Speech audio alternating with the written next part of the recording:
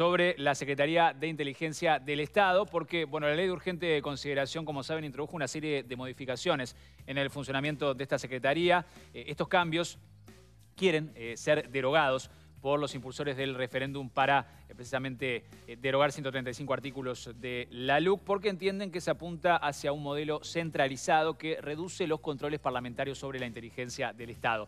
También existe preocupación por la incorporación de información catalogada como eh, secreta, pero bueno, desde la Secretaría de Inteligencia, su director Álvaro Garcés ha afirmado que la normativa trae mayores garantías y no es como eh, se cuestiona discrecional. De todo esto vamos a hablar en los próximos minutos con precisamente el director de la Secretaría de Inteligencia del Estado, Álvaro Garcés, que nos acompaña esta mañana aquí en nuestro programa. Bienvenido, Garcés. Buen día, ¿cómo le va? Buen día. ¿Todo bien? Bienvenido. Gracias por la invitación. Bueno, un gusto recibirlo, gracias por acompañarnos.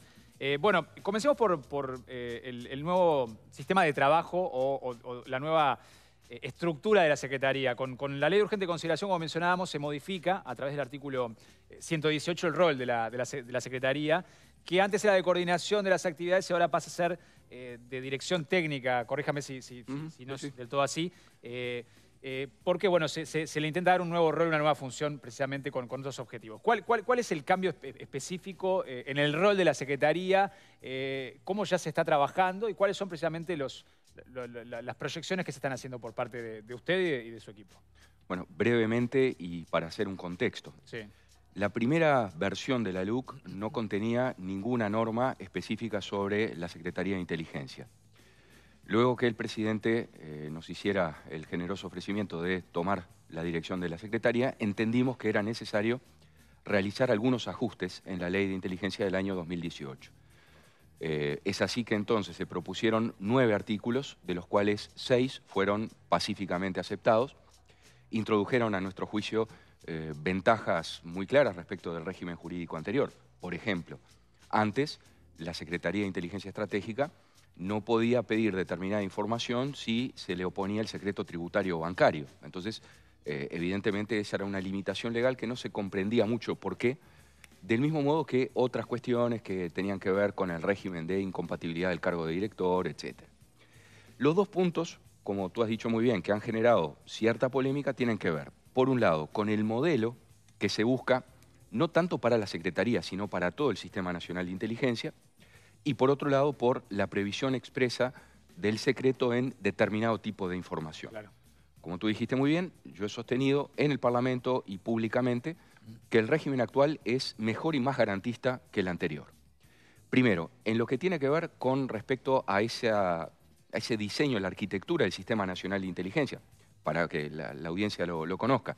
El Estado tiene a su cargo la función de inteligencia y contrainteligencia, y eso involucra cuatro ministerios, Defensa, Interior, Cancillería y, Relaciones, y, Economía y Finanzas.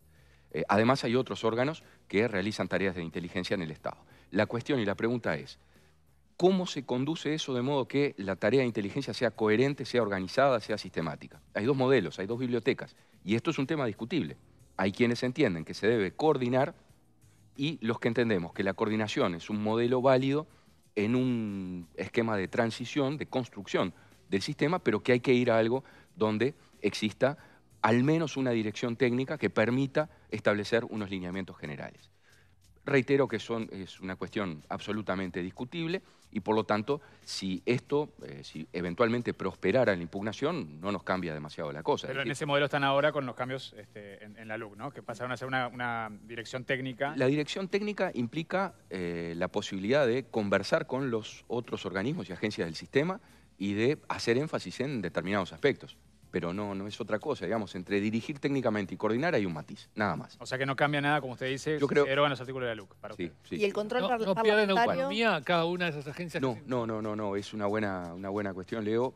Cuando pensamos este modelo, fuimos muy cuidadosos de mantener las autonomías y respetar la especialidad que tiene la inteligencia militar, policial, económica, de comercio exterior, no se anulan esas autonomías, para nada. Pero entonces, ¿cuál sería la, potestad nueva que tendría a partir de ese cambio? Digamos que refuerza la posibilidad de dar orientaciones de tipo general, nada más. Por ejemplo, subrayar la necesidad de una estricta legalidad en todo el cumplimiento de tareas de inteligencia, por ejemplo. Pero, reitero, la cuestión sí, y ahí vamos a la otra cuestión. El control del Parlamento. Yo creo, y ahí estoy, estoy convencido, que mm, el control parlamentario no solo no se ve restringido con la nueva norma, sino que se ve fortalecido. Puede parecer un poco paradojal en la medida que se incluye determinada información como secreta. Mm. Lo que hay que comparar es la fórmula actual con la anterior de 2018. En el año 2018, en la ley, que fue una buena ley, consensuada, trabajada durante muchos años por todos los partidos políticos. Es decir, no vinimos con un afán fundacional a corregir lo que entendíamos que era una mala ley, sino una buena ley que tenía aspectos perfectibles. Sí, de hecho estos tres artículos que están contestados son modificaciones este, a artículos que ya existían. Sí, sí, exacto. Salvo lo que, lo que decía anteriormente de agregar la inoponibilidad del secreto tributario bancario que no estaba y que lo agregaba. Eso se agregó ahora. Eso se agregó. Se agregó y fue bien aceptado. En la ley de 2018 se prevé que el control parlamentario tiene que ser eficiente, que tiene que ser fuerte, que el Poder Ejecutivo tiene que colaborar. Y de eso estamos absolutamente convencidos. Pero hay un triple límite o tres hipótesis en las que el Poder Ejecutivo puede negarse a dar determinada información al Poder Legislativo cuando afecte las fuentes, cuando afecte la identidad de los terceros, o, y acá está la cuestión, o cuando afecte el núcleo de la actividad esencial.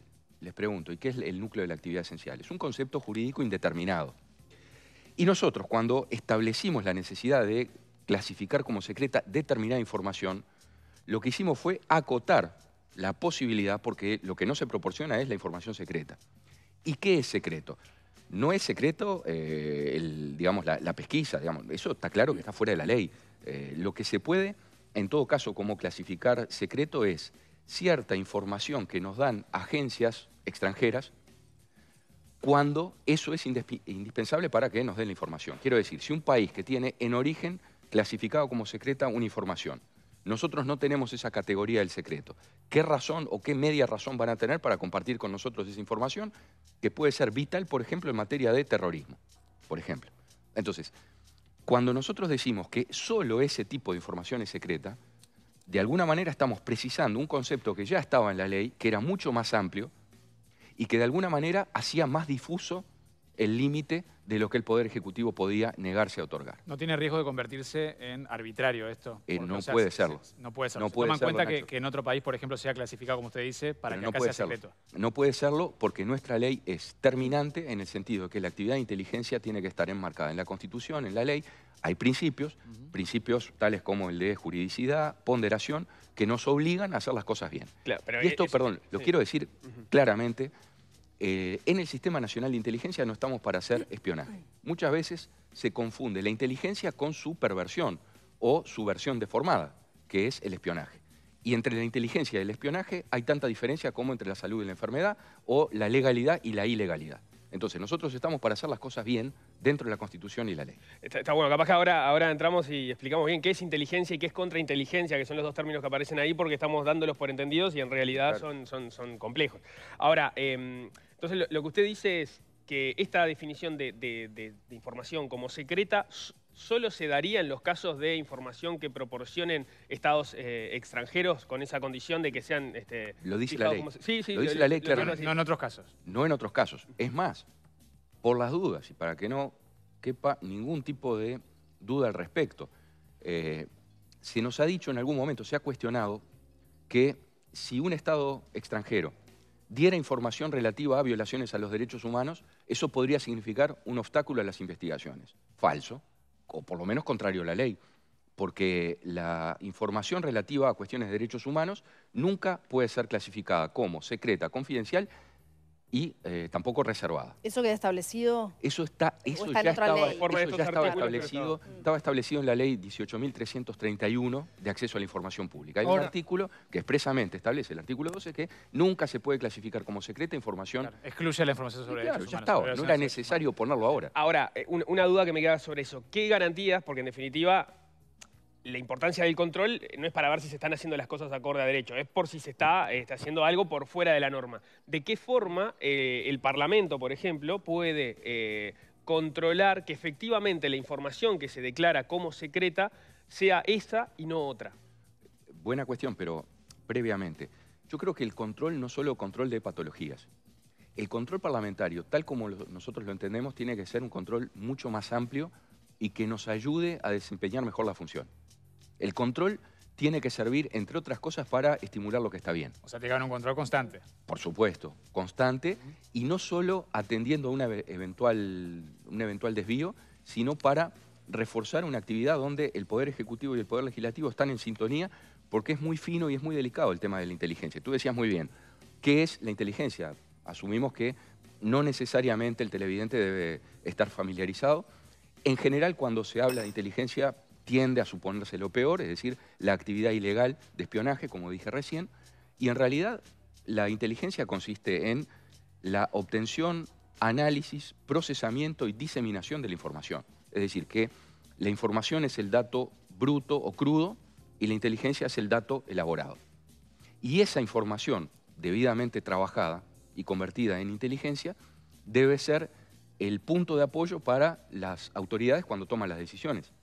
La inteligencia no está para eh, tomar decisiones, sino para sugerir, en todo caso, o aportar evidencia empírica de cuáles pueden ser los mejores caminos. Hasta allí, una actividad absolutamente limpia, jurídica, dentro de la Constitución. Que en sociedades autoritarias y en tiempos de eh, oscuridad institucional se haya utilizado mal es otra cosa. No solo le pasó a Uruguay. Yo creo... pero eso quiero ir, porque no solo fue en tiempo de oscuridad institucional, eh, ahora sabemos que muy avanzados los años 90 eh, se hizo espionaje a eh, organizaciones sindicales, organizaciones políticas, y ya teníamos más de una década de recuperar la democracia, no lo sabíamos, y si el ejército, y las Fuerzas Armadas, pero sobre todo el ejército, no sé si sobre todo el ejército, no lo sé, las Fuerzas Armadas, mantiene la autonomía y hay solo una posibilidad de sugerirle caminos o cosas, ¿tenemos la garantía de que eso no siga ocurriendo? Tenemos la garantía más cabal que está dada por eh, los límites que ahora establece la ley de inteligencia. Eh, en ese sentido, la cuestión de lo que no debe hacer el Sistema Nacional de Inteligencia fue muy bien trabajado en el Parlamento Nacional y quedó claramente establecido que no se puede cumplir a través de inteligencia tareas compulsivas o represivas, que no se puede eh, influir en la vida social o política, que no nos podemos meter en la vida interna de los partidos o las organizaciones sociales.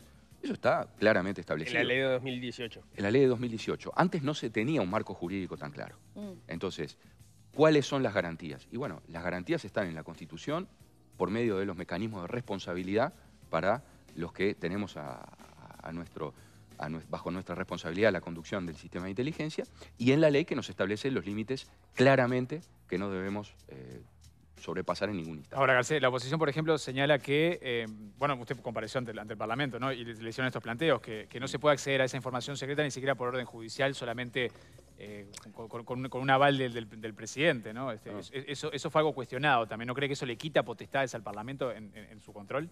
Al Parlamento creo que no, reitero, porque la fórmula es mucho más precisa. La pregunta es, ¿le quita potestades al Poder Judicial? Yo creo que no, tampoco. ¿Tampoco? Tampoco. Porque la actividad del Poder Judicial en relación a los órganos de inteligencia está clarísima también en la ley. Y cada vez que un órgano de inteligencia quiera hacer un procedimiento especial, un procedimiento especial puede ser la interceptación de eh, correos electrónicos o escucha en las comunicaciones, es decir, todo lo que, puede, lo que pueda afectar la esfera de privacidad de los individuos, que es una esfera sagrada, intangible, que el Estado no se puede meter allí.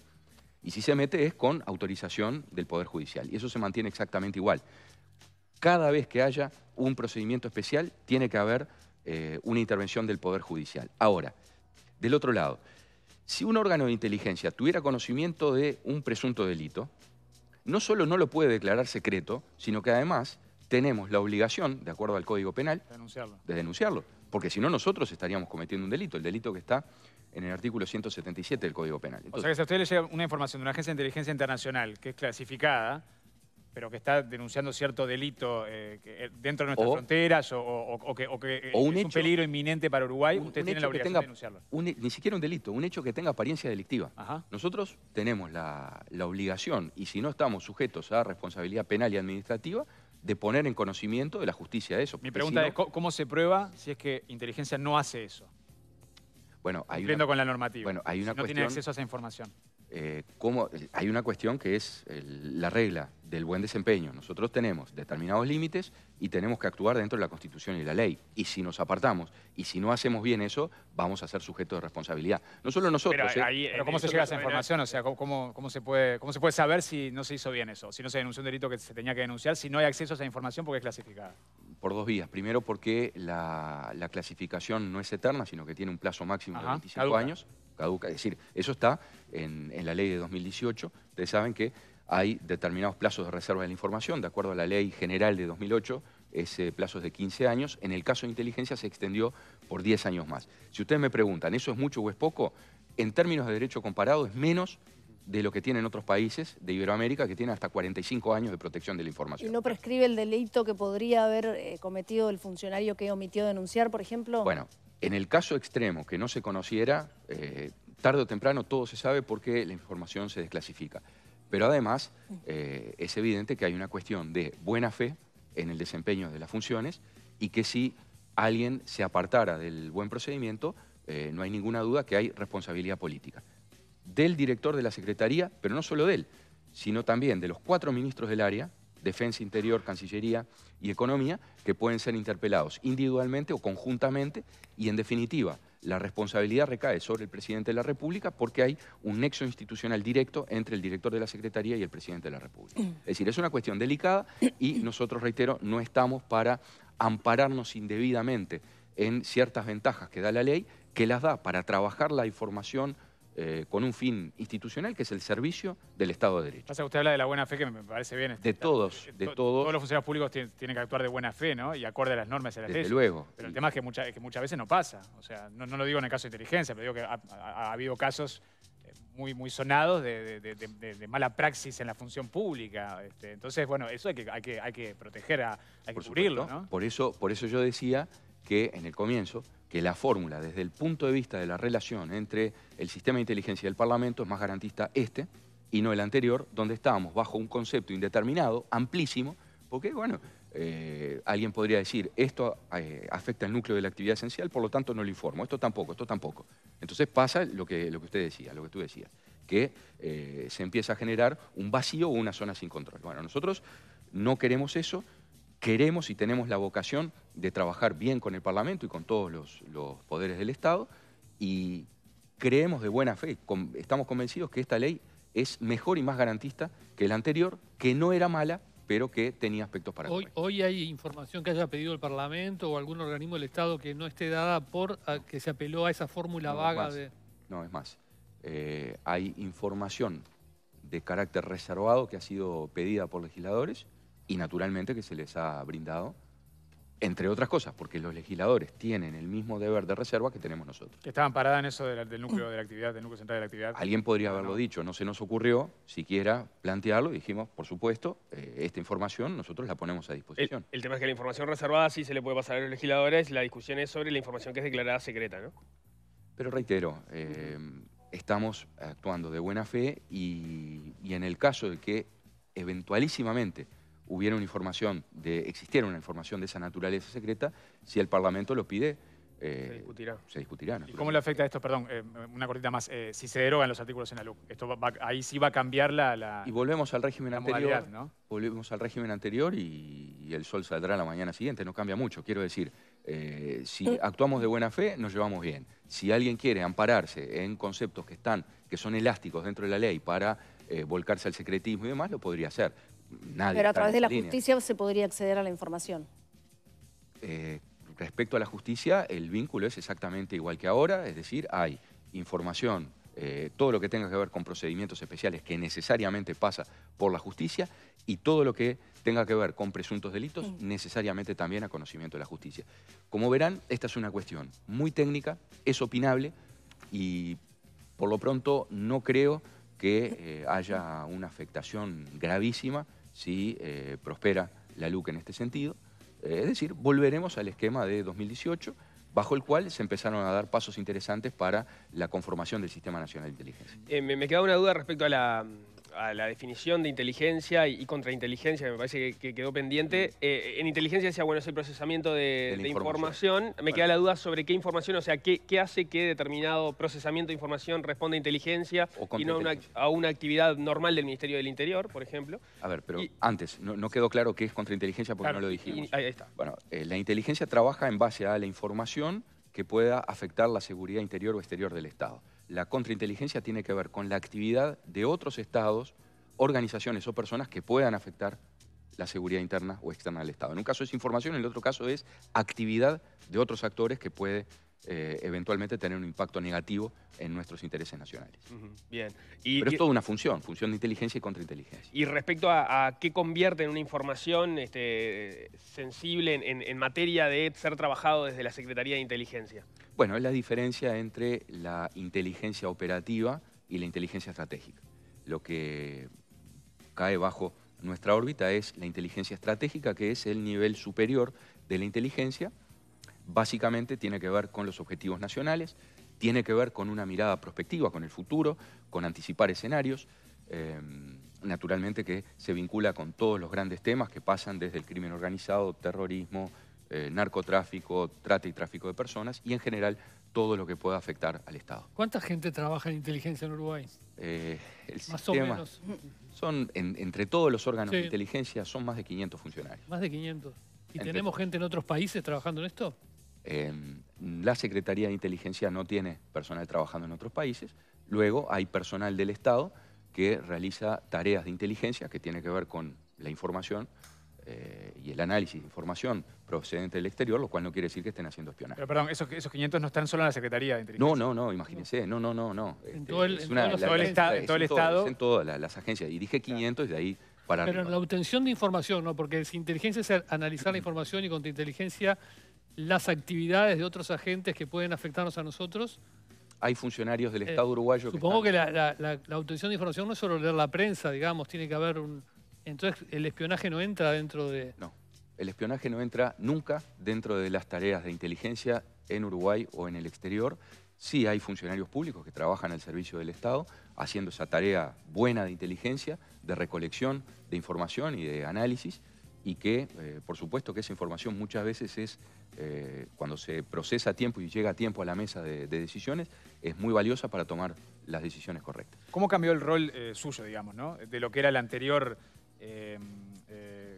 coordinador, digamos, de, inteligencia, una figura que fue este, creada en el 2005, ¿no? En el, primer, gobierno de Tabaré Vázquez, Claro, con una ley de presupuestos. Se eligió el primer coordinador en 2010. En el gobierno de Mujica. De comienzo, exacto. ¿Y en qué se modifica el rol, digamos? Y muchísimo, muchísimo, porque el coordinador se basaba en esa norma, el artículo 59 de la ley de presupuesto del primer gobierno del Frente Amplio, la ley, la ley 17930, que preveía la existencia de un coordinador, pero no establecía eh, absolutamente nada del marco jurídico. Entonces decía que había un coordinador, que el coordinador iba a coordinar y que dependía directamente del presidente de la República. Y nada más. Entonces no estaba establecido ningún tipo de procedimiento. No, claro, y los límites y los procedimientos. Entonces, desde el punto de vista del relacionamiento con los otros órganos de inteligencia del Estado era muy complejo porque no se tenía eh, una norma que estableciera claramente qué tipo de información se podía solicitar, de qué modo, por qué vía, bajo qué responsabilidades, en qué plazo, etc. Todo esto tiene que estar muy bien reglamentado para que funcione bien. Eh, en este año y medio desde que asumió, usted ha elegido, este, tomado la estrategia de no salir mucho a los, a los medios a, explicar la, tarea este, por la sensibilidad del tema en el, que está trabajando. Sí, un, director de inteligencia no tiene que estar en el informativo. Eh, es más, en algunos países durante mucho tiempo no, se, sabía, quién era el nombre, claro. Claro. Bueno, eh, de, todos modos vamos a aprovechar la oportunidad que está acá para preguntarle. Encantado. En este, este, año y medio que, ha estado trabajando, ¿cuáles son de todos estos objetivos estratégicos sobre los que trabajan? ¿Cuáles han sido los temas que más lo, han ocupado y que podemos este, decir sobre ese trabajo?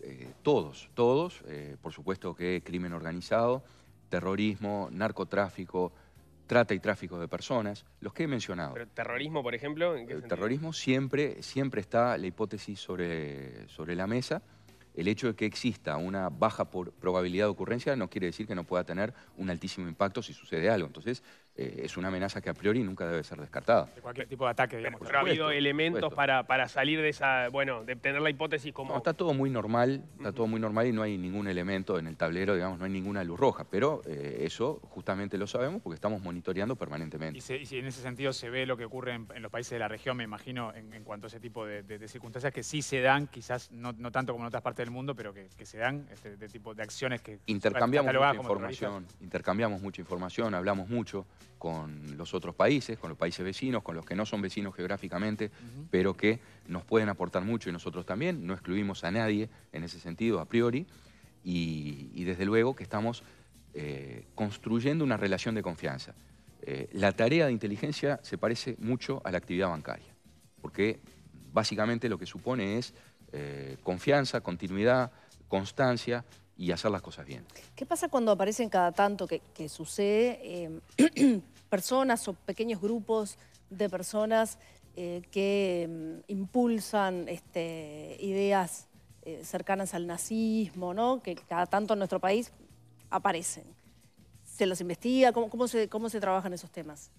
Pensando en que puede ser un, futuro este, problema o ataque, o en fin. Por supuesto, cuando dije que queremos hacer una inteligencia democrática del servicio del Estado de Derecho, tenemos la obligación de estar al tanto de cualquier amenaza al Estado de Derecho. Mm. Y evidentemente que esos grupos, en la medida que no están ideológicamente comprometidos con el Estado de Derecho, no, no vienen a fortalecerlo precisamente. Mm. Entonces, cualquier amenaza al Estado de Derecho para nosotros es algo que lo tomamos muy en serio y no, del mismo modo nos tomamos muy en serio la obligación de no meternos dentro de la competencia política o la vida social que es parte del Estado de Derecho. ¿Y se ha identificado algún tipo de, algún, tipo de actividad de espionaje hacia nuestro país en, los últimos años? Particularmente no, no, no, he tenido conocimiento, por lo menos eh, eh, en, lo, reciente. Eh, desde luego, además, que si estuviéramos al tanto de algún tipo de, hecho de, esa naturaleza, sería gravísimo y no sería precisamente para ventilarlo en público. ¿Cuál, ¿Cuál, es la relación con, las, con los gigantes de la tecnología? Porque mucha de la información que debe ser analizada transcurre a través de, las redes sociales o, de, aplicaciones tecnológicas. Mm. Muchas son secretas en cuanto a la identidad. ¿Cuál es la relación para cuando se detecta algo que puede ser peligroso con estas grandes empresas que dominan tanta, tanta información? De hecho, ha habido en, los últimos años algún, tipo de, incidente así de, ciberataque ¿no? y, de, ciberespionaje. Sí, sí, hay, dos cosas. ¿no? Por un lado, la, amenaza de ciberataques, que es una cuestión naturalmente que es muy importante. Y por otro lado, hay una transformación radical en eh, el mundo de la información. Hace 30, 40 años, la inteligencia se nutría fundamentalmente de informantes eh, aquí o de informantes extranjeros, y hoy la mayor parte de la información proviene de fuentes abiertas. Y el desafío es gestionar bien ese mar de información. El problema es, cuando tenés tanta información, cómo eh, procesarla y trabajarla a tiempo, cómo llegar realmente a lo importante dentro de un océano. Entonces, eh, eso es una cosa buena en la medida en que las fuentes abiertas te garantizan y te blindan una actividad dentro de lo legal, porque es información pública. Y es más, la inteligencia estratégica, que era un poco lo que tú preguntabas, ¿qué es la inteligencia estratégica? Tiene una muy fuerte conexión con esas fuentes abiertas. Entonces, eh, hoy la tecnología que puede estar necesitando el sistema de inteligencia uruguaya tiene que ver con el problema de algunas aplicaciones... WhatsApp, eh, por ejemplo. Por ejemplo, eso, esas comunicaciones en base a códigos encriptados que le dan facilidades al crimen organizado y es natural que el Estado pueda tener la posibilidad de interceptar con eh, conocimiento de, la justicia, naturalmente, eh, esos canales de comunicación cuando se ponen al servicio del delito. Ahora, por otro lado, es también un desafío tener mejor tecnología para gestionar esas fuentes abiertas que tanta información nos da y que hay veces que eh, a partir de fuentes abiertas se pueden hacer hallazgos muy importantes. Mira, tenemos la tecnología. Tenemos, tenemos una muy buena capacidad humana, eh, hay buenos recursos en los órganos de inteligencia de, Uruguay. Naturalmente que la capacitación es uno de los grandes desafíos que tenemos por delante, eh, la capacitación al más alto nivel. Creo que con, no, con una inversión que no sería cuantiosa podríamos mejorar eh, incluso lo que ya tenemos, esos niveles de trabajo en las redes abiertas y en lo que es las fuentes abiertas. Pero hoy, por ejemplo, tenemos tecnología para interceptar WhatsApp con el aval de la justicia, por supuesto. en su momento, el Guardián. Fue comprado ya hace años, era una herramienta informática de potencia mediana. Para escuchas telefónicas en ese caso, ¿no? Que tenía determinadas y tiene determinadas prestaciones. Luego, el avance de la tecnología lo ha dejado más rezagado. Entonces, no es un misterio que eh, hoy el Estado tiene necesidad de actualizar ese tipo de tecnología simplemente para no estar rezagado respecto de quienes utilizan esos caminos de tecnología para cometer o concertar. Entiendo que no, entonces.